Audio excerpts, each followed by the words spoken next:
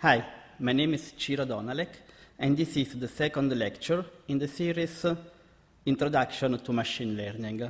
In the first lecture, we have defined machine learning, data mining, and KDD, and the problems that can be addressed with these techniques. In this lecture, I will focus on supervised learning. Now, today I'll start giving a more formal definition on supervised learning, talk about how to create a proper training set, the steps involved in the learning, and we'll see what it is and how to avoid overfitting, focusing on cross-validation techniques. Now, as we have seen in the previous lecture, we talk about supervised learning when, for some examples, the correct results are known and are given an input to the model during the learning process.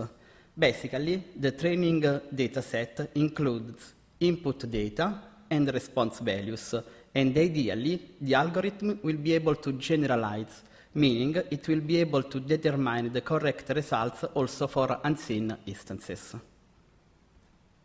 Last time, we have also seen the most common tasks in data mining. Just as a reminder, for, for, supervised models are classification, regression, and prediction.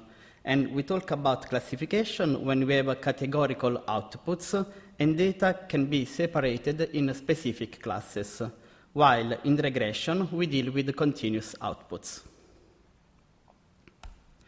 Now, let's define supervised learning more formally. The training data consists of a set of training examples x and corresponding known outputs y. x is an n-dimensional feature vector, while let's suppose y is a single target value. As an example, let's consider a bank that wants to come out with a credit formula to give or deny a credit uh, to their customers using historical records. In this case, the input data are the customer application forms with fields like age, gender, annual salary, current debt, and uh, these are all fields related to the credit score somehow. And the output will be a binary output, accept or deny the request, so basically plus one or minus one. After that, there is the ideal target function that maps x into y. It is unknown, and it is what we want to learn. In fact, of course, if you already knew f, there will be no need for learning. We could apply that and be done. We see f only through the training examples. And in the case of the bank, f is the ideal credit approval formula. Now, our goal is to learn F. So we want to find the hypothesis G that best approximate F.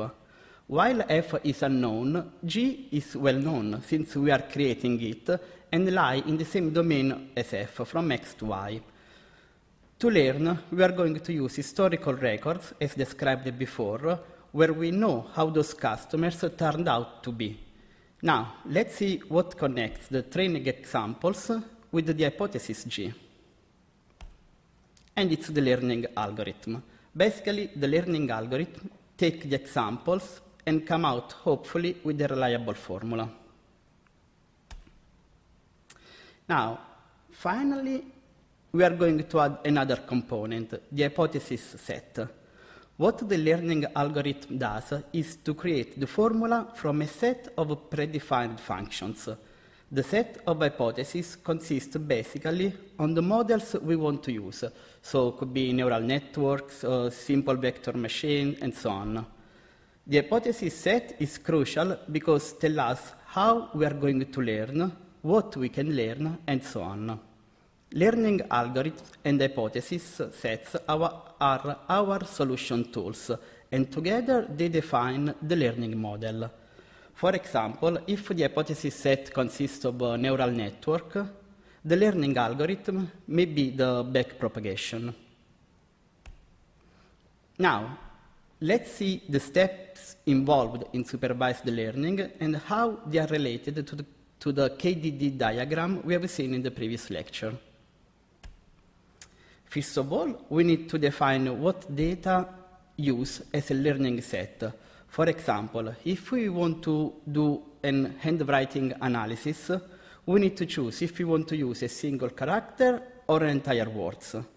Then we need to prepare the training set that must be representative of all the eventualities we can cover.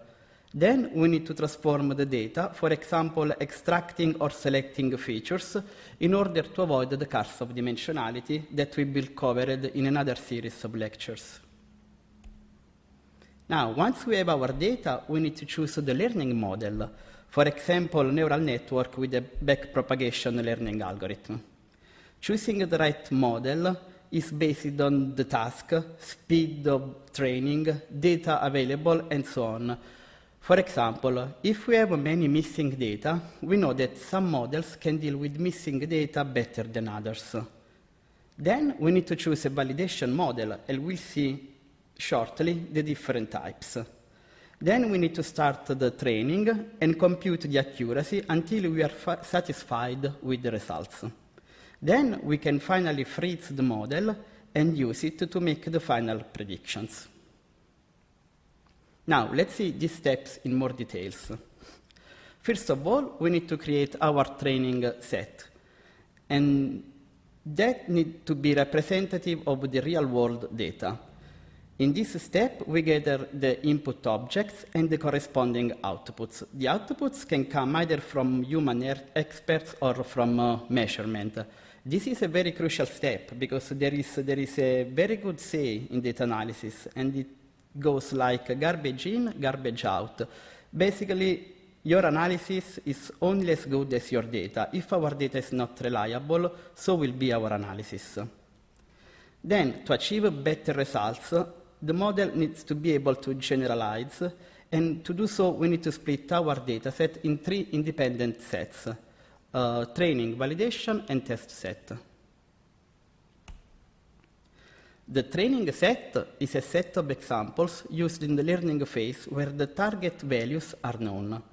The goal of every learning algorithm is to build a model which makes accurate predictions on the training set, but be careful, because if we compute the accuracy on the same set, then doesn't give us a good indication about uh, the generalization power of the model.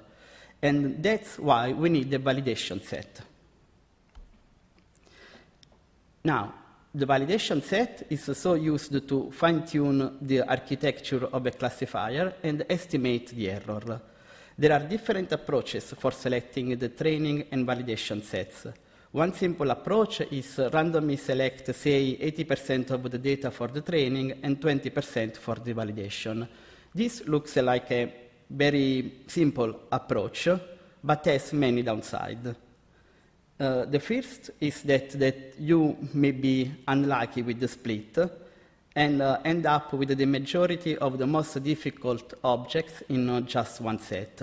So to avoid this, we can use cross-validation.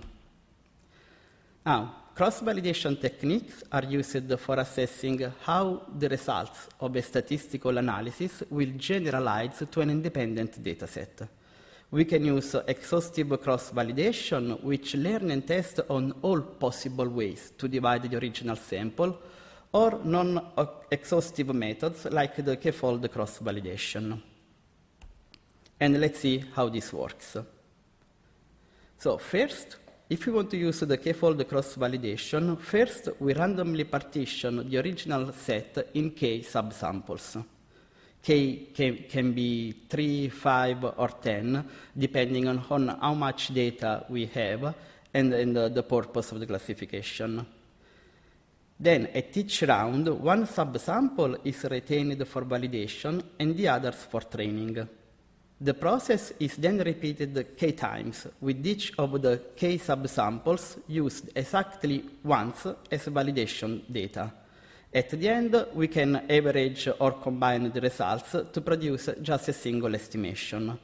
The clear advantage of this method is that all observations are used for both training and validation, and each observation is used for validation just once. Now, another cross-validation method is the repeated random subsampling. At each step, we split the dataset in just two subsets, one for training, one for validation. Then we compute the validation error at each step and average over all the splits. Now, the advantage is that the proportion of the sets is not dependent on the number of the folds, while the clear disadvantage is that some samples may never be selected for validation or may be selected more than once in different splits. Leave one out cross-validation is instead an exhaustive method. We use just a single observation from the original sample as validation, and all the others are used as training. And this, of course, may be computationally expensive, especially if also the learning algorithm is computationally expensive. Because we need to redo this process for the number of observations in the dataset. Now, we have talked about training and validation. Now let's see the final set, the test set. This is an independent set used only to assess the performance of a fully trained classifier. So it is never used in the learning process, and in that way it can provide an unbiased estimate of the generalization error. Now, a common problem in supervised models is the overfitting. It occurs when a model is not be able to generalize and start to memorize the training data instead of learning the general underlying trend. Okay, sometimes this happens because during the training we don't use the validation set, and that's why the cross-validation helps in avoid overfitting. Other methods to avoid overfitting involve regularization, early stopping, and we'll see them in more details when we'll talk about classification. Now, looking at the figure, which fitting model would you choose?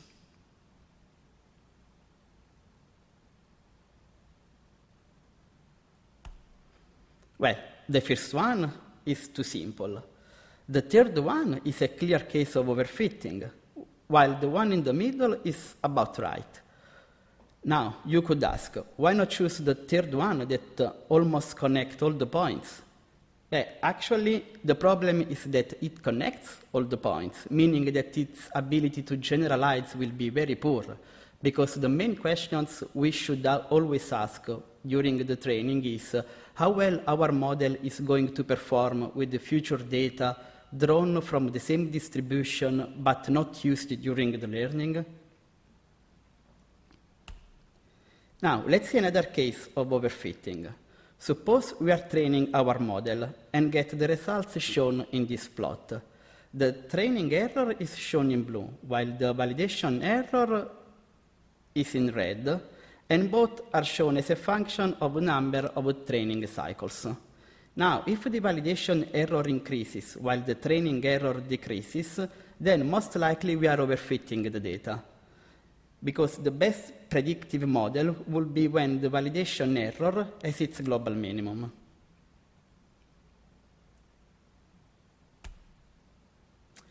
Now, in this lecture, we have formalized the supervised learning, see how to build proper uh, training, validation, and test set, and how to avoid overfitting using cross-validation.